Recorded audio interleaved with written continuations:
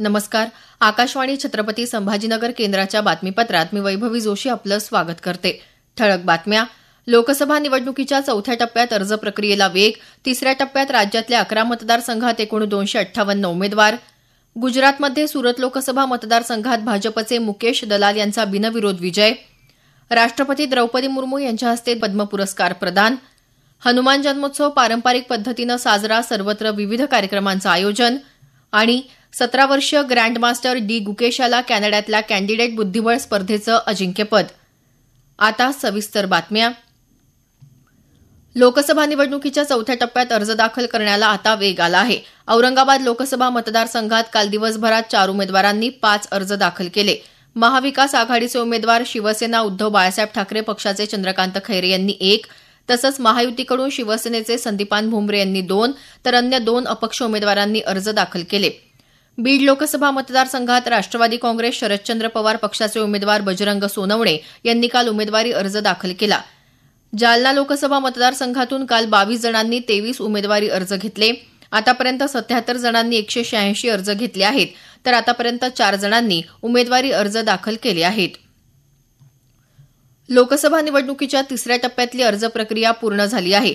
या टप्प्यात आता दोनशे अठ्ठावन्न उमेदवार निवडणूक रिंगणात आहेत. यामध्ये उस्मानाबाद लोकसभा मतदारसंघात एकतीस लातूर इथं अठ्ठावीस रायगड तेरा बारामती अडोतीस सोलापूर एकवीस माढा बत्तीस सांगली वीस सातारा सोळा रत्नागिरी सिंधुदुर्ग नऊ कोल्हापूर तेवीस तर हातकणंगले मतदारसंघात सत्तावीस उमेदवार निवडणुकीच्या रिंगणात आहेत. उस्मानाबाद लोकसभा मतदारसंघात उमेदवारी अर्ज मागे घेण्याच्या अखेरच्या दिवशी काल चार उमेदवारांनी अर्ज मागे घेतले. त्यामुळे या मतदारसंघातून एकतीस उमेदवार निवडणूक लढवणार असल्याचं स्पष्ट झालं आहे. या उमेदवारांना चिन्ह वाटपही काल करण्यात आलं. लातूर मतदारसंघातून छाननीअंती वैध ठरलेल्या एकतीस उमेदवारांपैकी तीन उमेदवारांनी काल माघार घेतली. आता अठ्ठावीस उमेदवार या मतदारसंघातून निवडणुकीच्या रिंगणात आहेत. सोलापूर मतदारसंघातून वंचित बहुजन आघाडीचे राहुल गायकवाड यांच्यासह अकरा जणांनी अर्ज मागे घेतले. त्यामुळे आता या मतदारसंघात महाविकास आघाडीच्या परिणिती शिंदे आणि महायुतीचे राम सातपुते यांच्यासह एकवीस उमेदवार निवडणुकीच्या रिंगणात आहेत.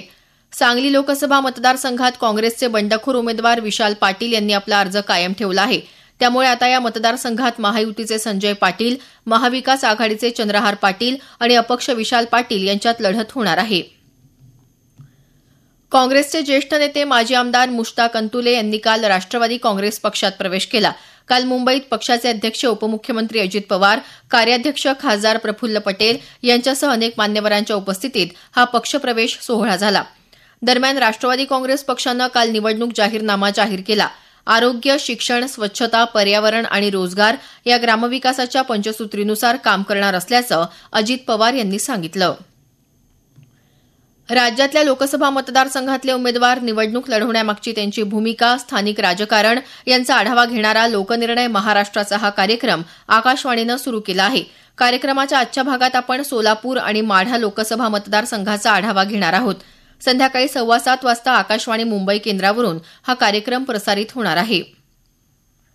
गुजरातमधल्या सुरत लोकसभा मतदारसंघातून भारतीय जनता पक्षाचे उमेदवार मुकेश दलाल यांची बिनविरोध निवड झाली आहे. जिल्हा निवडणूक अधिकाऱ्यांनी काल त्यांच्या विजयाचं प्रमाणपत्र प्रदान केलं. काँग्रेसचे उमेदवार निलेश कुंभानी यांचा उमेदवारी अर्ज रद्द झाला तर उर्वरित उमेदवारांनी आपले अर्ज मागे घेतले. त्यामुळे ही निवडणूक बिनविरोध झाल्याचं याबाबतच्या वृत्तात म्हटलं आहे. राष्ट्रपती द्रौपदी मुर्मू यांच्या हस्ते काल पद्म पुरस्कार प्रदान करण्यात आले. राष्ट्रपती भवनात झालेल्या कार्यक्रमात डॉक्टर बिंदेश्वर पाठक यांना मरणोत्तर पद्मविभूषण पुरस्कार देण्यात आला. माजी उपराष्ट्रपती व्यंकय्या नायडू तसंच भरतनाट्यम नृत्यांगना डॉक्टर पद्मा सुब्रमण्यम यांना पद्मविभूषण ज्येष्ठ दिग्दर्शक राजदत्त अभिनेता मिथुन चक्रवर्ती तसंच गायिका उषा उत्थुप यांना पद्मभूषण तर माजी राज्यपाल राम नाईक डॉक्टर मनोहर डोळे ज्येष्ठ साहित्यिक डॉक्टर जहीर इशाक काझी उद्योजक कल्पना मोरपारिया यांच्यासह अनेक मान्यवरांना पद्मश्री पुरस्कारानं गौरवण्यात आलं. हनुमान जन्मोत्सव आज सर्वत्र पारंपरिक पद्धतीनं साजरा झाला. ठिकठिकाणच्या मंदिरांमध्ये पहाटेपासूनच भाविकांनी गर्दी केली होती. छत्रपती संभाजीनगर इथं सुपारी हनुमान तसंच जिल्ह्यात खुलताबाद इथल्या भद्रा मारुती मंदिरासह ठिकठिकाणच्या मंदिरांमध्ये हनुमान जयंतीनिमित्तानं विविध धार्मिक कार्यक्रमांचं आयोजन करण्यात आलं आहे. परभणी जिल्ह्यात पालम तालुक्यातल्या जांभूळ बेटावरही भाविकांनी हनुमानाच्या दर्शनासाठी गर्दी केल्याचं वृत्त आहे. चैत्र पौर्णिमेनिमित्त आदिशक्तीच्या विविध देवस्थानच्या यात्रांना आजपासून प्रारंभ होत आहे. तुळजापूर इथं तुळजाभवानी देवी तसंच येरमाळ्याच्या येडेश्वरी देवीच्या दर्शनासाठी भाविक गर्दी करत आहेत. येडेश्वरी देवीची चैत्र पौर्णिमेच्या दुसऱ्या दिवशी पालखी काढली जाते. या दिवशी चुनखडी वेचून पालखीवर वाहण्याचा प्रघात आहे. भारताचा सतरा वर्षीय ग्रँडमास्टर युवा बुद्धिबळपटू डी गुकेश यानं कॅनडा इथं झालेल्या कॅन्डिडेट बुद्धिबळ स्पर्धेचं अजिंक्यपद पटकावलं आहे. ही स्पर्धा जिंकणारा तो सर्वात कमी वयाचा भारतीय खेळाडू ठरला आहे. आता विश्वविजेता बनण्यासाठी गुकेशचा सामना चीनच्या डिंग लिरेनशी होणार आहे. लोकसभा निवडणुकीच्या दुसऱ्या तिसऱ्या आणि चौथ्या टप्प्याचा प्रचार आता वेग घेत आहे. मुख्यमंत्री तथा शिवसेनेचे मुख्य नेते एकनाथ शिंदे यांनी काल अहमदनगर जिल्ह्यात राहता इथं प्रचारसभा घेतली. महायुतीचे अहमदनगरचे उमेदवार सुजय विखे पाटील तसंच शिर्डीचे उमेदवार सदाशिव लोखंडे यांच्या प्रचारार्थ घेतलेल्या या सभेला उपमुख्यमंत्री तथा भाजप नेते देवेंद्र फडणवीस महसूल मंत्री राधाकृष्ण विखे पाटील यांनीही संबोधित केलं. नांदेड जिल्ह्यात भोकर इथं भाजप महायुतीचे उमेदवार प्रतापराव पाटील चिखलीकर यांच्या प्रचारार्थ उपमुख्यमंत्री देवेंद्र फडणवीस यांची काल जाहीर सभा झाली. सिंचन आणि दळणवळण या मुद्द्यांवर त्यांनी आपल्या भाषणात भर दिला. खासदार अशोक चव्हाण यांनी यावेळी केलेल्या भाषणात मराठवाड्याचा अनुशेष दूर करण्यासाठी आपण भाजपत आल्याचं सांगितलं. औरंगाबाद लोकसभा मतदारसंघातले महाविकास आघाडीचे उमेदवार चंद्रकांत खैरे यांच्या प्रचारार्थ काल युवासेना प्रमुख आमदार आदित्य ठाकरे यांच्या उपस्थितीत भव्य मिरवणूक काढण्यात आली. क्रांती चौकात छत्रपती शिवाजी महाराज यांच्या पुतळ्यास पुष्पहार अर्पण करून मिरवणुकीला सुरुवात झाली. ही मिरवणूक पैठण गेट गुलमंडी मछली खडक पांदरीबा मार्गे संस्थान गणपतीजवळ विसर्जित झाली.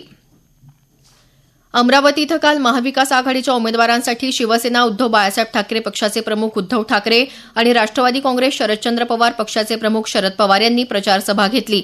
या दोन्ही नेत्यांनी यावेळी केलेल्या भाषणात भाजप आणि केंद्र सरकारवर टीका केली. राज्यभरात मतदार जनजागृतीसाठी विविध उपक्रम राबवण्यात येत आहेत. नांदेड इथं स्वीप कक्षाच्या वतीनं काल जिल्हा पोलीस परेड मैदानावर विविध कार्यक्रम घेण्यात आले. महिला लेझिम पथक पथनाट्य मी मतदान करणारच अशी शपथ विविध स्पर्धा यासह विविध माध्यमातून जनजागृती करण्यात आली. संस्कार भारतीच्या वतीनं जिल्हा पोलीस परेड मैदानावर भव्य रांगोळी काढून मतदान करण्याचा संदेश देण्यात आला.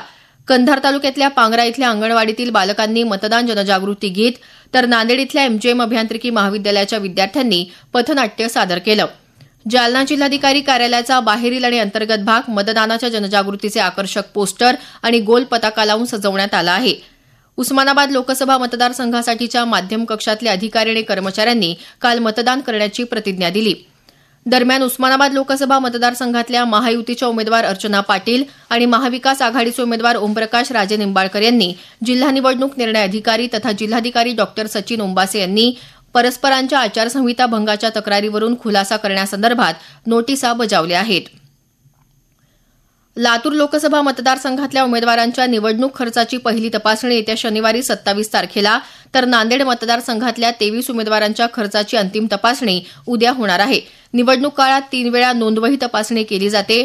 नांदेड इथं याआधी बारा आणि अठरा एप्रिलला दोन खर्च तपासण्या झाल्या आहेत. धाराशिव जिल्ह्यात अवकाळी पावसामुळे एक हजार नऊशे एक्क्याऐंशी हेक्टर क्षेत्रावरील पिकांचं नुकसान झाल्याचा प्राथमिक अंदाज कृषी विभागानं दिला आहे. यात तीनशे पाच गावातल्या दोन हजार आठशे तेहतीस शेतकऱ्यांच्या बागायती जिरायती पिकांचं नुकसान झालं आहे. शेवटी पुन्हा काही ठळक बातम्या. लोकसभा निवडणुकीच्या चौथ्या टप्प्यात अर्ज प्रक्रियेला वेग तिसऱ्या टप्प्यात राज्यातल्या अकरा मतदारसंघात एकूण दोनशे अठ्ठावन्न उमेदवार. गुजरातमध्ये सुरत लोकसभा मतदारसंघात भाजपचे मुकेश दला यांचा बिनविरोध विजय. राष्ट्रपती द्रौपदी मुर्मू यांच्या हस्ते पद्म पुरस्कार प्रदान. हनुमान जन्मोत्सव पारंपरिक पद्धतीनं साजरा सर्वत्र विविध कार्यक्रमांचं आयोजन आणि सतरा वर्षीय ग्रँड मास्टर डी गुकेश याला कॅनडातल्या कॅन्डिडेट बुद्धिबळ स्पर्धेचं अजिंक्यपद. याबरोबरच हे बातमीपत्र संपलं. आमच्या केंद्रावरचं उर्दू बातमीपत्र आज सकाळी नऊ वाजेऐवजी सकाळी सात वाजून पन्नास मिनिटांनी प्रसारित होणार आहे. नमस्कार.